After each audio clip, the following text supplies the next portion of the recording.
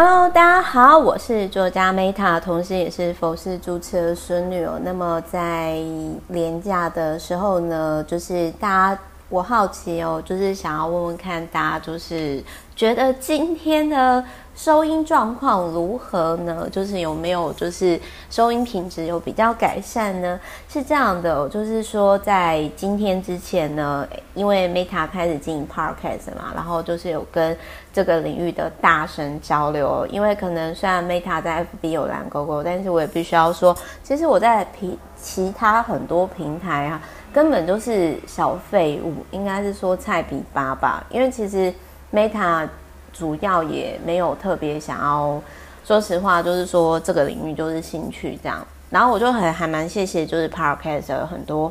朋友大神们啊，就是就有交流。那其中有一个部分呢，就是他们在群组里面就有提到说，其实我是可以做音箱的这个部分，因为其实就是有一些朋友就是有跟我讲说，Meta 你的内容很好，但是你的。你的气音太重啊，那个录音的品质不太 OK 啊。就是，其实我最近我还蛮谢谢，就是说很多人透过不一样方式，也许他们没有自觉，但是我觉得或多或少就是就会，我的感觉是好像这条路上就是有天使一直在默默的指引我前进。OK，Anyway，反正就是这样子啊，然后。反正就是今天我想要讲的是说呢，因为其实很多人就会问我说：“哎，Meta 那个怎么经营自媒体呀？然后就是怎么做？”那因为其实就是我自己，像我现在因为就是。现在哪里也不能去嘛，然后我我觉得就是说啊，刚好就写书啊，然后顺便把之前呢就是答应大家要做创作呢，就刚好做完。那所以其实我现在其实是在，就是我同时就是刚好就是适合的剪片师有出现哦，所以其实就是我有在经营频道。那很多人其实会问我说，如果是除了 Podcast 之外嘛，那就是 YouTube 频道啊，就是有没有特别？推荐谁？那我想讲一下，就是说，我觉得可以参考，就是韩国第一 YouTuber 之神的人气自媒体 No How。那这个其实就是说，他其实是拥有一百七十万的订阅者，然后绰号叫大图书馆。那刘栋权将他过去八年所学所悟全面揭露，从。内容细化，然后到广告收益，从职业心态到实战指南，最完整的艺人媒体呀，操作全攻略这样子。那大图书馆其实是从游戏当中获得灵感，就是说。意思就是说，用简单又有趣的方式介绍世界上的各种知识。那其实我觉得刘栋玄他会成功比较特别的是呢，其实我看到他这一段的时候，我还蛮有共鸣。我晚一点讲，就是他有提到说他没有华丽的学经历，甚至他还没有大学毕业哦。然后经过几年平凡的职场生活之后，他三十岁的时候才进 YouTube。哇，因为 Meta 也刚好奔三嘛，突然间就有被。感动到，然后以才华和真诚、机智和口才成为人际王。然后他后来就是自己除了是创作者，同时也开了就是一家公司这样。其实后来我在书中看到是他还有开补习班啦。那所以如果你今天你好奇的是说哦如何年收入突破千万，他这个千万是韩元嘛？如果千万韩元的话，其实。还好哎，但是韩国上市三天预购三千本哎，三千本各位知道是什么概念吗？因为像 Meta 的第一本书自媒体百万获利法则，我我手刷就是快三千本哦，我大概花了一个月吧，它等于说它是我十分之一天内就卖完，然后同时它有近两百万的粉丝订阅，所以总而言之，我觉得今天不论你要经营自媒体还是就是。呃，应该是这么说，就是在如果你今天在博客来哦，你搜寻第一本大概就是我的书啦，就是自媒体百万获利法则。可是我必须要说，当你今天你自媒体经营到一定的程度的时候呢，其实你想要再晋级，很多时候我都会推荐就是这一本书。那为什么 Meta 不推荐台湾呢？其实我也是台湾认识很多创作者，但是因为大家都认识，我就不好意思说。啊，如果只推荐其中一个，然后我其他朋友就会跟我妈妈说，你为什么只推荐他，不推荐我？是因为我不是你的 V V I P 吗？这样 好啦，然后我这边先讲一下，就是。我我觉得，其实，在四十六这一本书的四十六页里面，他有提到一件事情。他说，钱哦，这种东西很奇怪。如果你想用力抓，你就会抓不到；但是你不抓，反而就容易被握在手里。但是谁会讨厌钱呢？所以他的意思是说，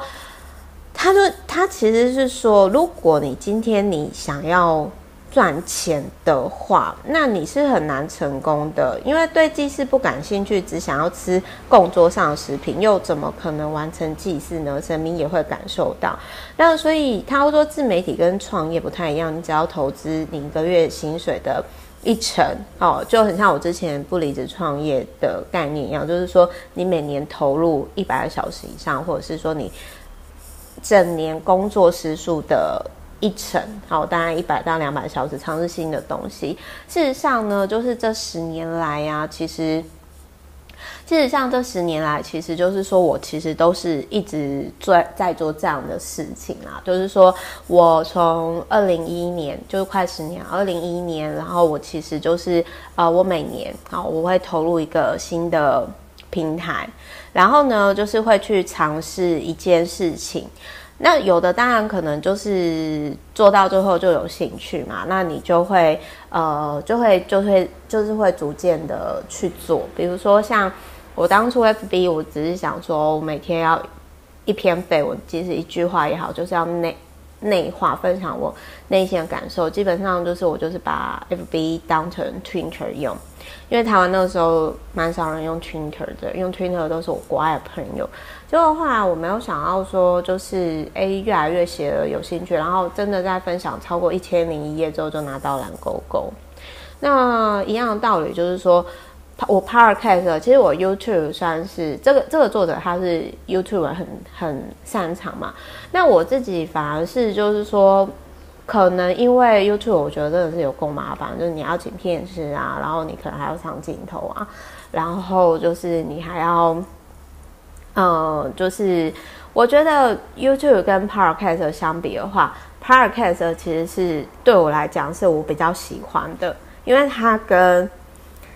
FB 就是它有点类似，说它其实甚至就是我觉，其实我觉得我太晚。应该是说，我觉得去年如果时间再重来的话，我觉得我应该是去年啊，应该要更常分享 podcast。为什么？因为呃，应应该是这么说，就是我觉得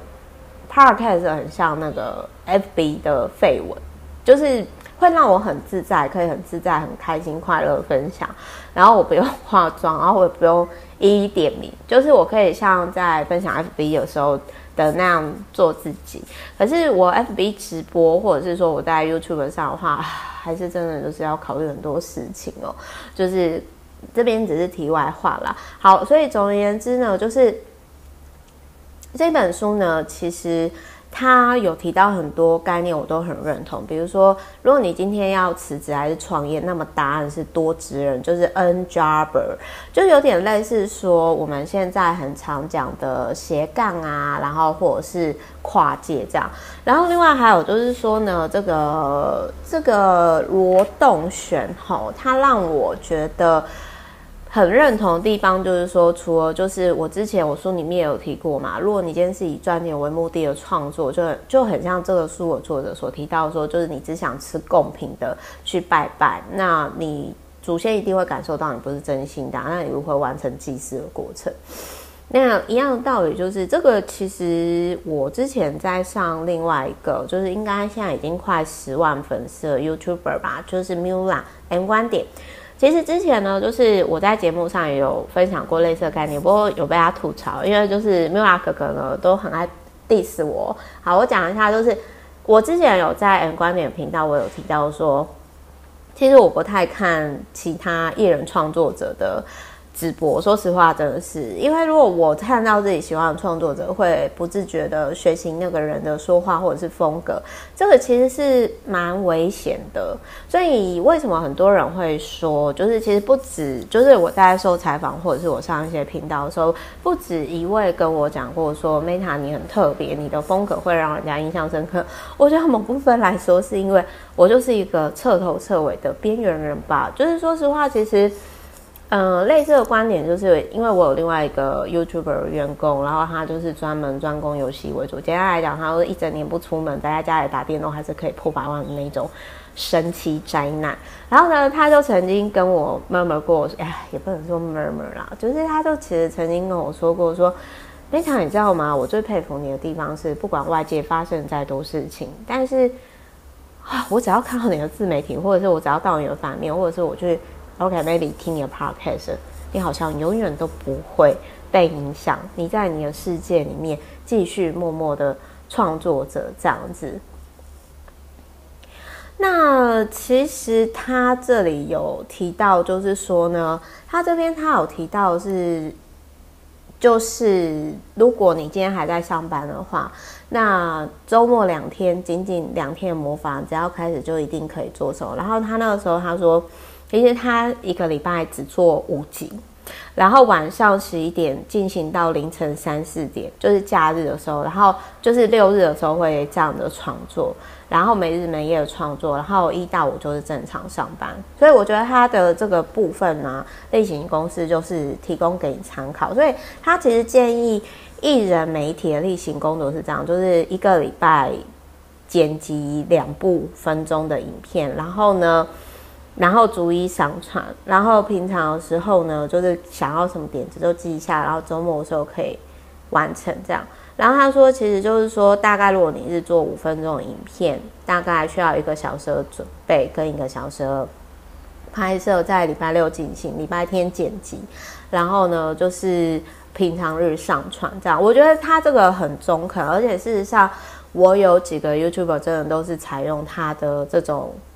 制作的。方式这样子，那 Meta 呢？其实说实话，我并没有，呃，我这边先讲，因为我目前的 YouTube 订阅也没有很多人啦。但是我觉得，只要就是有破千，然后可以开放大家就是订阅，就是他们其实现在 YouTube 也有订阅制，就是比如说你每个月刷卡几十块啊，然后就可以定期的刷卡付费呢。我觉得有开通那个，我觉得就好，就我还蛮随缘的。然后我自己也很认同，就是说用只属于自己的内容走出自己成功的路，而不是一直看别人在做什么。那事实上，这个我之前在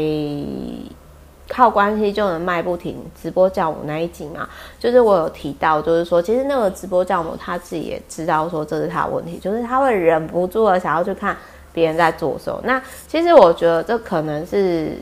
他潜意识里可能不太。对自己没什么信心吧，就是他可能其实，因为如果你今天你是很很专注在创造自己世界的人的时候，其实你真的会忘掉世界，因为那是你真的想要打造世界。那打造自己的世界的话，其实没有没有比较的。不过我觉得每个人在不同的阶段啊，或许过一段时间之后，直播这样我就知道我在讲什么意思哦。那另外他还有提到说呢，其实像。他有提到说呢，其实如果有有有小朋友的人哦，制作内容才是培养孩子们气化与创意最好的能力。而且他也在书中呢，其实他有提到说，就是 YouTube 它正在取代电视的状况以及相关的数据哦。那这一本书呢，其实是跟我。的书呢，其实是同年出版，它是一月出版的。那我的书呢，其实是四月的时候，四月的时候出版的。所以呢，就是 Meta 是真的，因为 时间差不多有关系哦。所以其实就是说，各位可以知道说，Meta 其实并没有抄，并没有就是也没有参考他的书啊。但是我因为我现在是写完这本书之后，我后来才看的嘛。那我后来在看的时候，就会突然发现说，哦。真的好多概念都一模一样哦，果然英雄所见略同，只是一男一女啊。我是他是公的，我是母的。哎，我在说什么？然后另外我也想讲一下，就是说世界上没有无用的事情。讲到这，我真的感触很深，因为有时候其实我们很多时候在人生某些阶段的时候，你后来回想起来，你会觉得说好像那一段时间被停滞了。但是问题是我们真的那一段时间被停滞了吗？其实我不这么觉得，就是我反而会觉得说，就是我这样讲好，比如说我曾经有一段时间，我不是那个时候很哀怨嘛，我说哇，我我觉得因为我爸妈的关系，然后呃，我我那个时候就是帮助我爸妈照顾巴金森氏症跟帕金森氏症奶奶，然后我觉得我十到二十岁的时候是没有童年的，我曾经觉得。那一段时间是没有意义的，可是难道真的是如此吗？我后来并不觉得如此，因为后来，比如说我可能像，我觉得可能是因为你如果曾经真的有经历过一些磨难的时候，后来你在遇到一些事情的时候，你就觉得那个根本是小事情，就不会影响到你。所以这也是为什么，比如说有些人说啊，那 Meta 你为什么在经历被酸民讨厌啊什么什么那些的时候，其实你。不太在意，或者是说你有自己的世界之类的，然后你不会被外外在的世界所影响。但我觉得跟我的童年，就是十到二十岁没有童年，然后长照奶奶的这个过程有关。然后也因为这一段过程会让我去思考，说我现在做的事情是我真心想要做吗？就是因为。我觉得也是因为长照那个经验，让我去理解到说，其实人生是很无常的。所以如果可以的话，当然是尽可能的，就是把时间都就是用在真心想要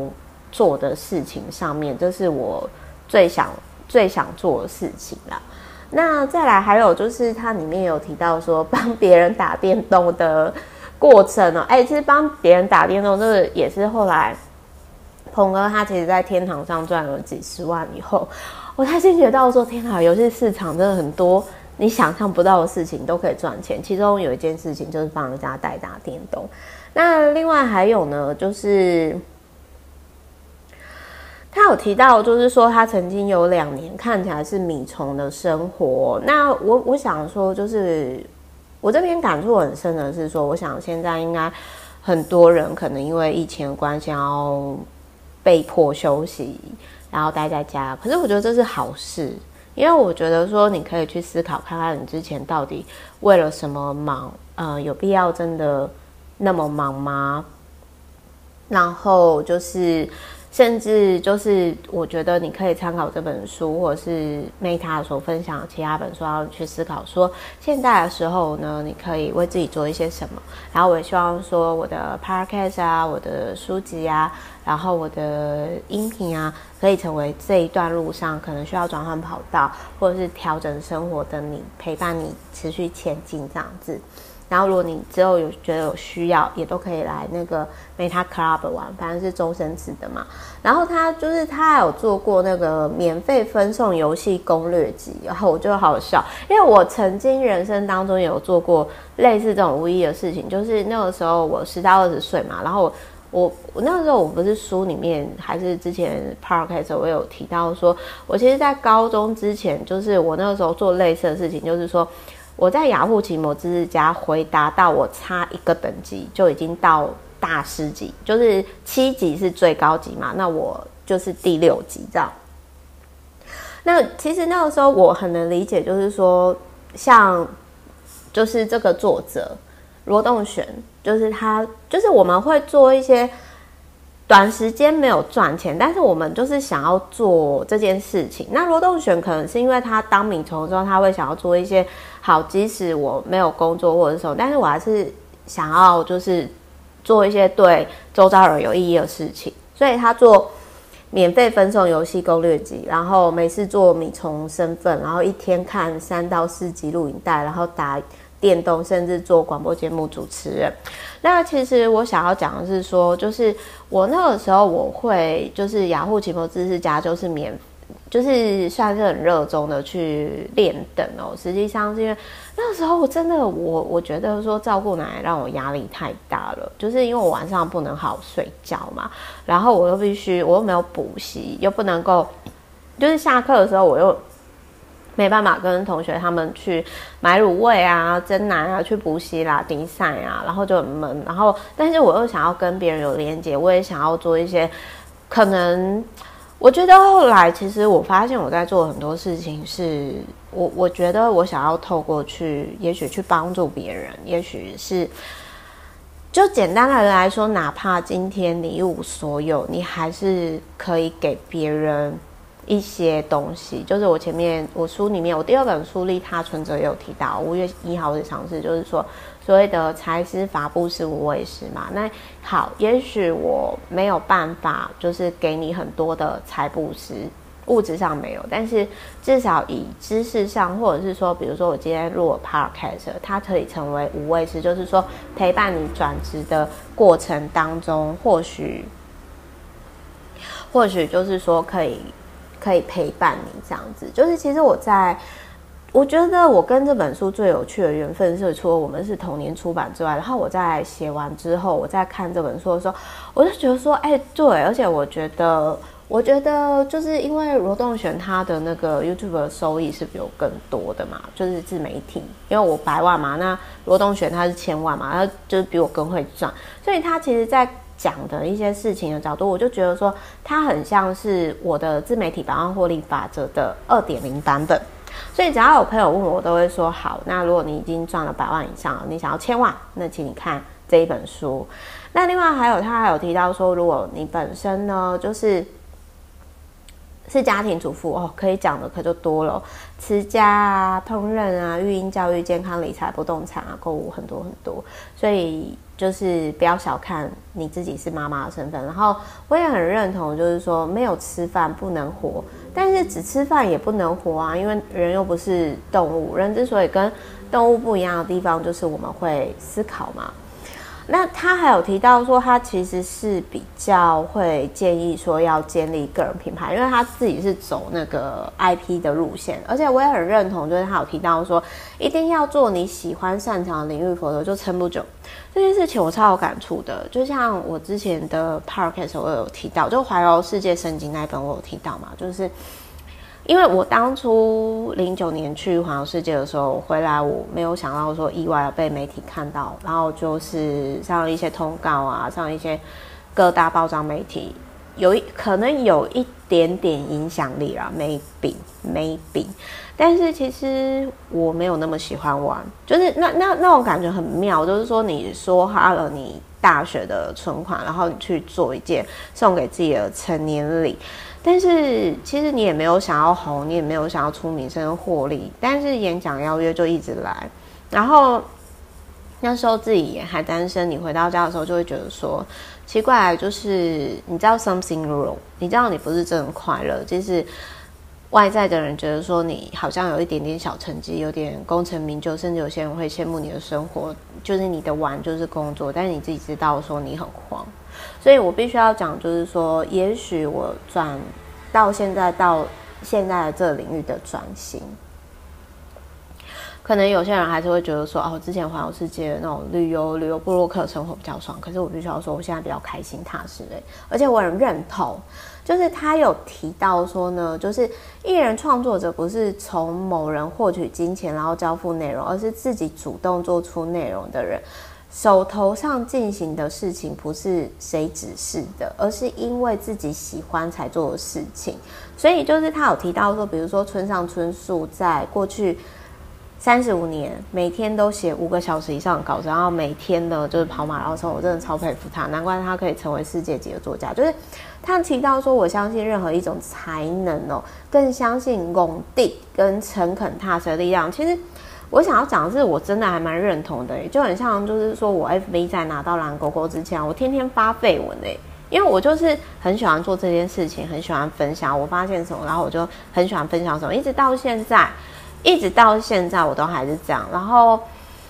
然后，然后就是说，呃，当然很多人，有些人就会觉得说，哦，我都很爱巴菲文，那你就不要看啦，因为每个人经营风格不一样嘛。然后，当然还有就是在一百六十页里面，就是他有提到说要特别注意著作权的问题。比如说最近呢，文学圈我是边缘人啦，我不知道，但是就是也有引爆，就是骆以军老师跟刘子，就是他的学生刘刘姓女同学的事情哦。那各位有兴趣的话，可以去呃网络查一下这样子。他还有他有提到说，沟通的时候要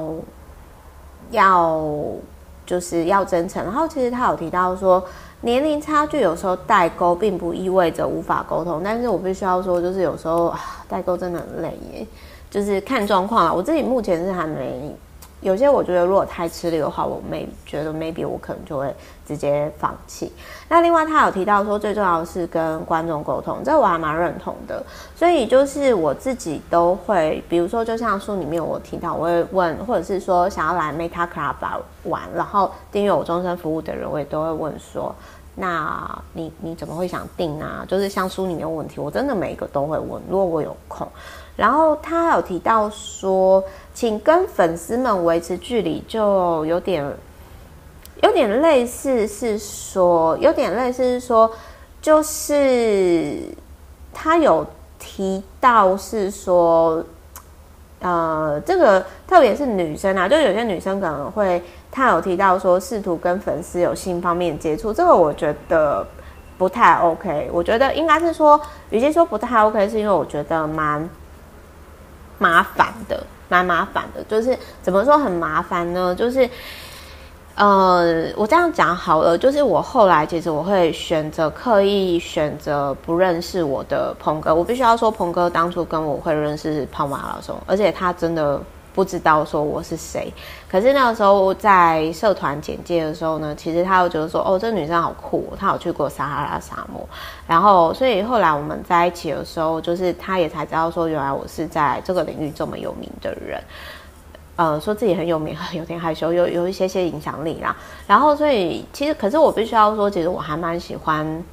这样的，因为如果说我今天是跟我的粉丝，或者是对我有比较崇拜或者是迷恋想法的人交往的话，我觉得会很累，因为你必须要在他面前维持一定的形象。所以提供给各位参考啦，我自己是不会想要跟粉丝谈恋爱，或者是有其他的 的约会还是什么之类的，就提供给大家参考。而且再说一件事情啊，就是。因为像 Meta 就是长得丑，四海皆朋友啊，所以有其实我也很少遇到这种性骚扰或者是跟性相关的。我觉得这也是我跟一些颜值高的主播或者是很漂亮的那种 KOL 的差异，或者也可以说是优势吧。因为至少我可以很放心的接触我的男性的读者，或者是或者是可能呃 V V I P 什么，他们其实是会。